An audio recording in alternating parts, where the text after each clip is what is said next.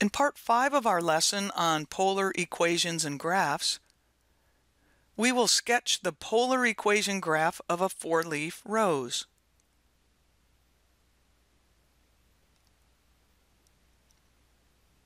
In this example, we will sketch a graph of r equals 4 cosine 2 theta. We will use its symmetries to simplify the graphing process. You may remember that in an earlier lesson, we found all the symmetries for this polar equation, r equals 4 cosine 2 theta, and discovered that it had all three types of symmetries. So that will help us greatly in our graphing process. Just a reminder that we will use approximations for radical 2 over 2, we will use 0.7, and for radical 3 over 2, we will use 0.9. So let's get started here. We begin with theta equals 0 degrees. Now the argument of the cosine function is 2 theta. So because of that, any angle that we input, the first thing we have to do is double it. So of course doubling 0 degrees, we still have 0 degrees. The cosine of 0 degrees is 1. So to calculate r, we will be taking 4 times 1, which is 4. So we will plot the polar point 4, comma, 0 degrees. So coming over here to our graph, we start at the pole, we point towards 0 degrees, and we walk out a distance of 4. 1, 2, 3, 4, and we put a point there.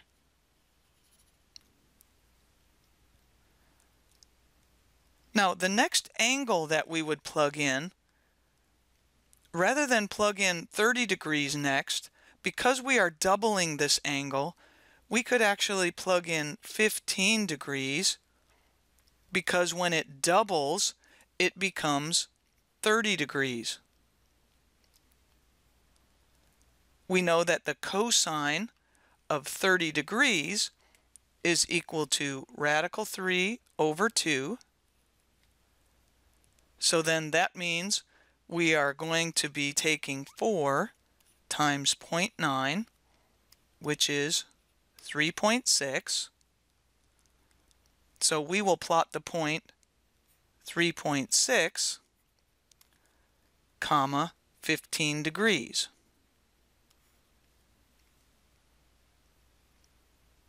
Now on our polar graph here, we see 0 is here, 30 degrees is here, so that means 15 degrees is here. So we start at the pole, point towards 15 degrees, and walk out a distance of 3.6.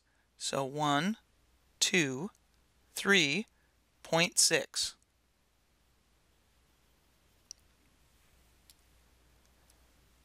Next, we will plug in 30 degrees. 2 theta is then 60 degrees, the cosine of 60 degrees is equal to 1 half.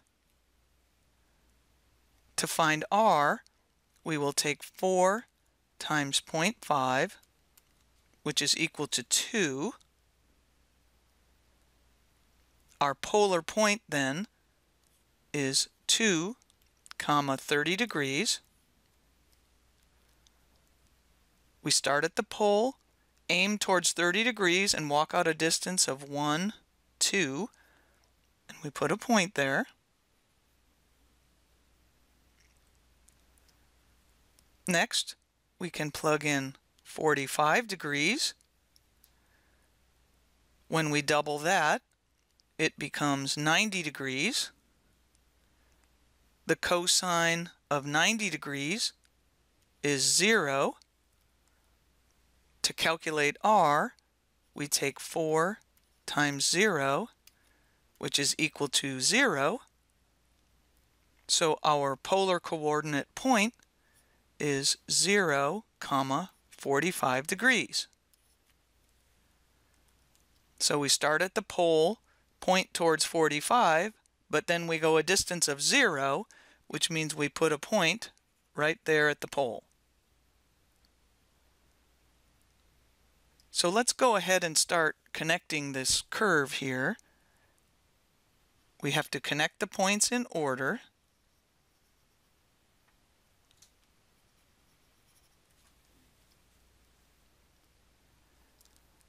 After 45, it looks like each time we're going to want to go up by 15 degrees here. So let's go ahead and plug in 60 degrees.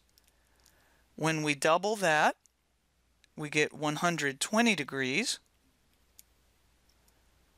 The cosine of 120 degrees is negative 1 half. To calculate r, we take 4 times negative 0.5 and we get negative 2. So our polar coordinate then is going to be negative 2 comma 60 degrees. So we start at the pole, we point our faces towards 60 degrees, but we know we're not going to walk towards 60 degrees. We are going to have to walk away from 60 degrees, which means we're actually walking towards 240. But we're pointing our faces towards 60 degrees and backing up by 2 so here is that point at negative 260. Our next angle will be 75 degrees. When we double that, we get 150 degrees. The cosine of 150 degrees is negative radical 3 over 2. So to calculate r, we will take 4 times negative 0.9, and we get negative 3.6. So our polar coordinate point will be negative 3.6, comma, 75 degrees. So coming over to our graph, we know that 75 degrees will be between 60 and 90. So this is 75 degrees here. We start at the pole. We are looking towards 75 degrees, but we have to back up by 1, 2, 3.6 and put a point there. The next angle we'll plug in is going to be 90 degrees. When we double that, we get 180 degrees. The cosine of 180 degrees is negative 1. To calculate r, we have 4 times negative 1, which is negative 4. Our polar coordinate point then is negative 4 comma 90 degrees. So on the graph, we start at the pole, point our face towards 90 degrees, and back up by 1, 2, 3, 4. So let's connect these points.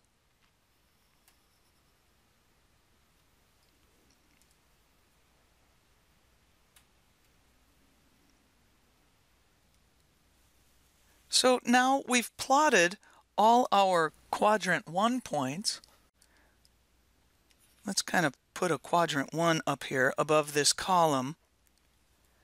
Now that we have all of our quadrant 1 points, we can start to use the symmetries because remember, r equals 4 cosine 2 theta, ended up having every possible symmetry, all three of them.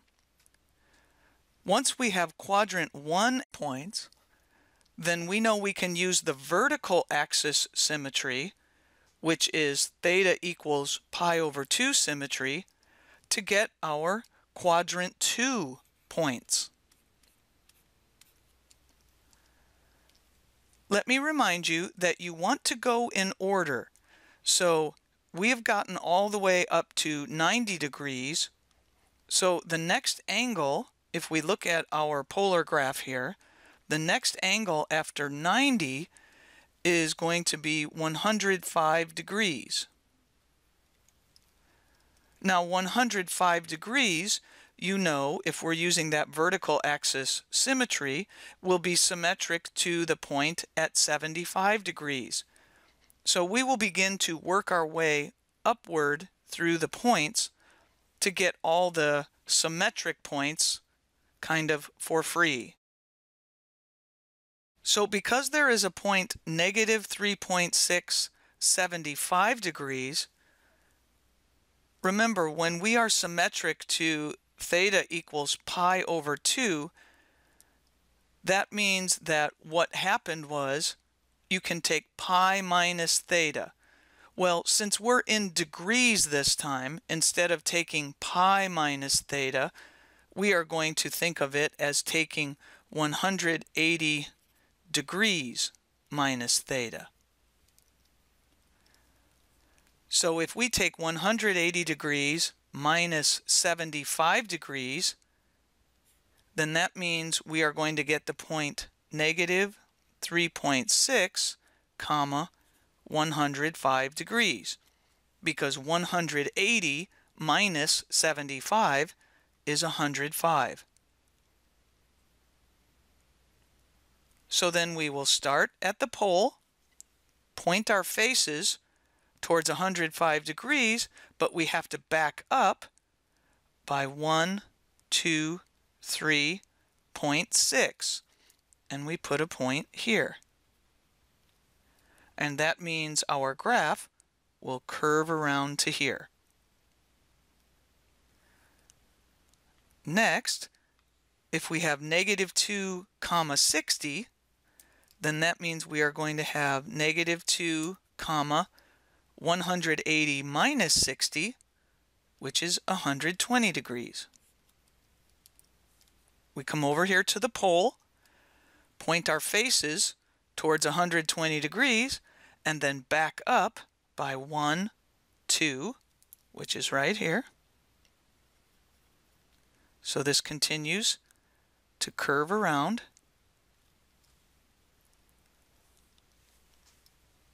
Next, we have 0, 45 degrees. So that will become 0. We have to take 180 minus 45 degrees, 135 degrees.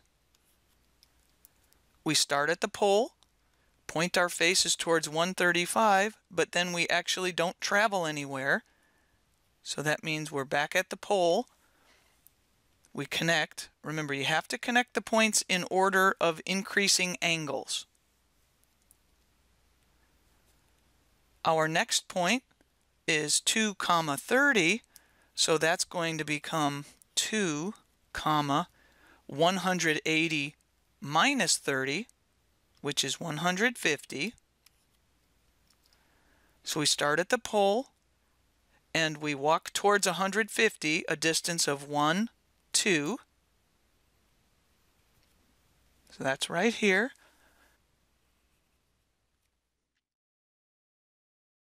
Next we have 3.6 comma 15 degrees. So that's going to become 3.6 comma 180 minus 15, which is 165 degrees.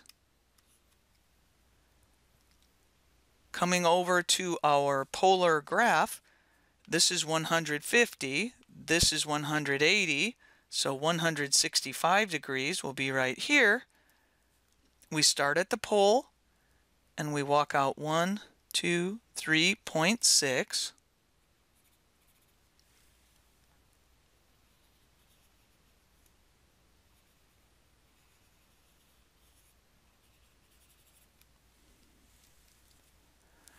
Next, we have 4 comma 0.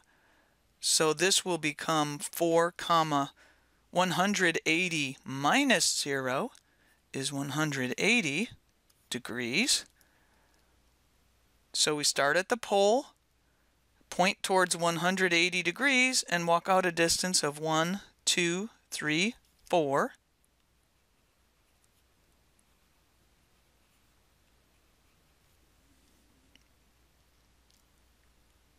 So now we have all of our quadrant 2 angles. And next we will want to do our quadrant 3 angles. And that's going to come from the pole symmetry. So remember that when we are doing pole symmetry, we replace theta with pi plus theta. Well, because we are in degrees, to get our quadrant 3 angles, instead of doing pi plus theta, we will do 180 degrees plus theta.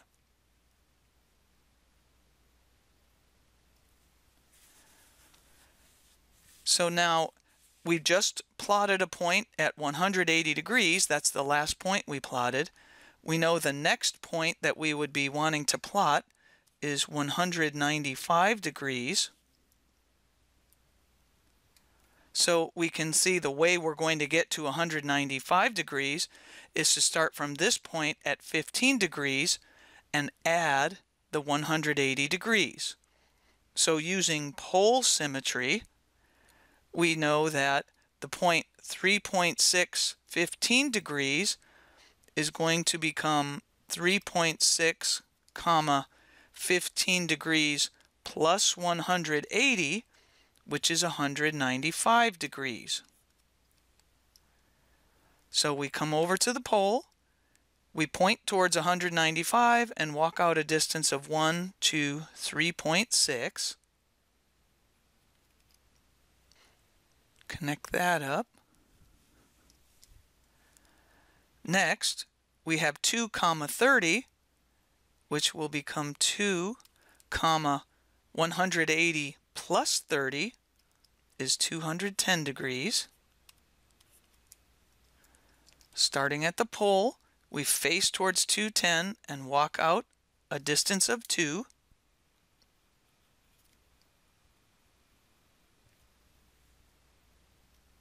Next we have 0, 45 degrees is going to become 0, 180 plus 45 is 225. So that means we start at the pole, point towards 225, but then we walk a distance of 0. So we're back here at the pole, connecting up in order. Next we have negative 2 comma 60 so that's going to become negative 2 comma 180 plus 60, 240 degrees. We start at the pole. We face towards 240, but we don't walk towards 240. We have to back up by 1, 2,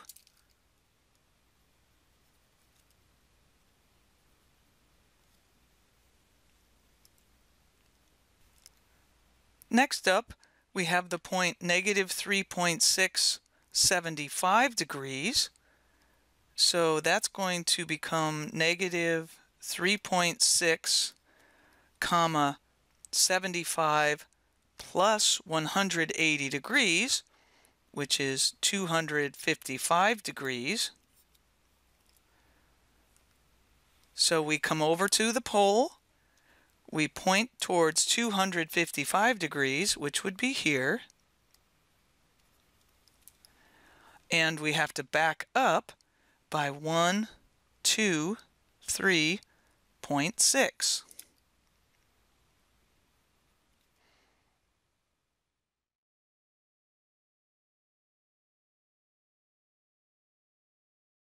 Next, we have the point negative 4 comma 90, so that's going to become negative 4 comma 180 plus 90, which is 270. Starting at the pole, we point our faces towards 270 and then we back up by 1, 2, 3, 4.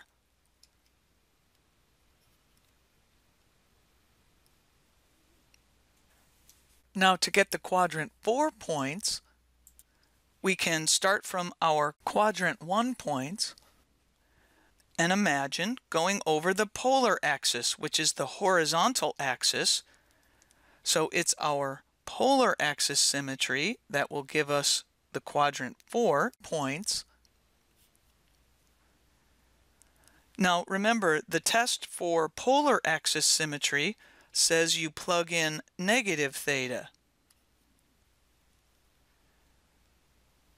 Now our graph doesn't have any negative angles on it, but we have learned already from the negative angle we can convert to the coterminal positive angle.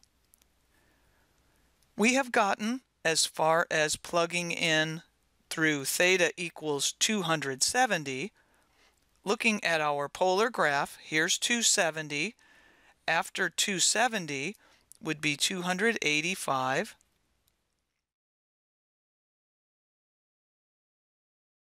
Now making use of our polar axis symmetry, we know that 285 degrees is going to be symmetric to 75 degrees.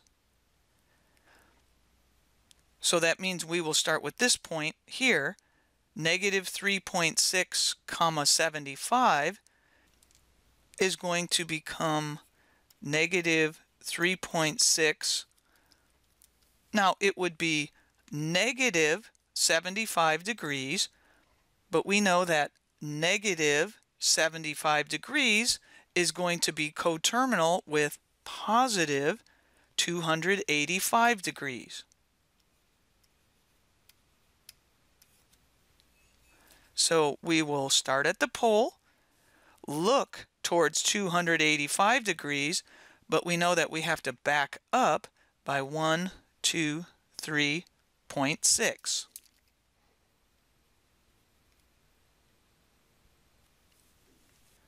Next we have negative 2 comma 60, so that would become negative 2 comma negative 60, we know, is coterminal with 300.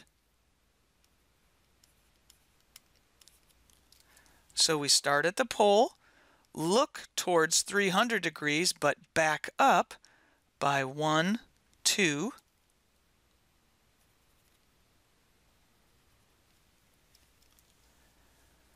We have 0, 45, which would be 0, negative 45, but we know that negative 45 is coterminal with 315.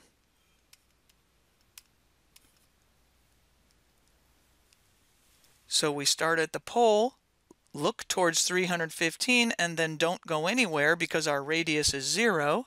So here we are at the pole, connecting up. Next up is 2 comma 30 degrees. So that becomes 2 comma. We know that negative 30 degrees would be coterminal with 330 degrees.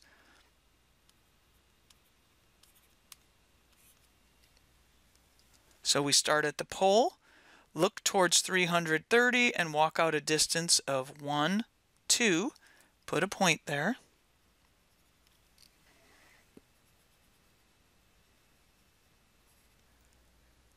Next is 3.6 comma 15 degrees. So 3.6 comma negative 15 degrees is going to be coterminal with 345 degrees.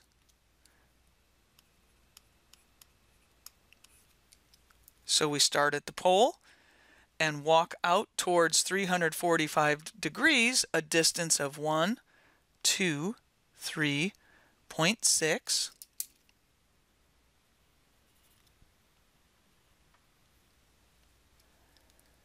And then finally, if we have 4 comma 0, that's going to be the same as 4 negative 0, if you will, which is 360 degrees we could use. So that goes here, and we connect up.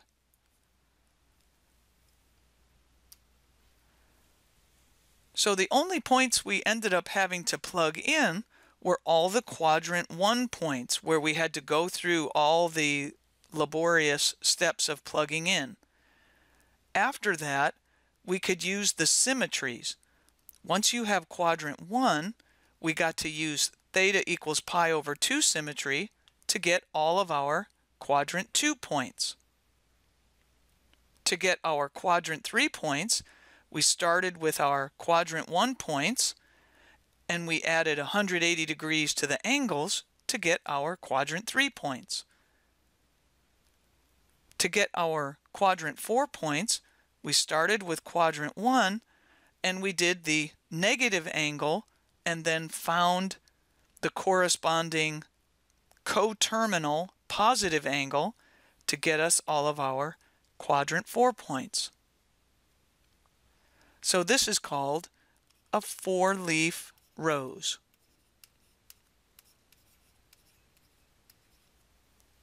And looking at it, you can see all the symmetries. It has the vertical axis symmetry of theta equals pi over 2. It folds over itself. It has pole symmetry, meaning if you folded it over the horizontal and then the vertical, it would line up on itself. Or you can think of it as taking any point, going straight through the pole an equal distance, and you land on a point on the graph again. It also has polar axis symmetry, meaning horizontal axis symmetry. If we take any point and fold it over on itself, it lands right on the graph again. So there is our four-leaf rose.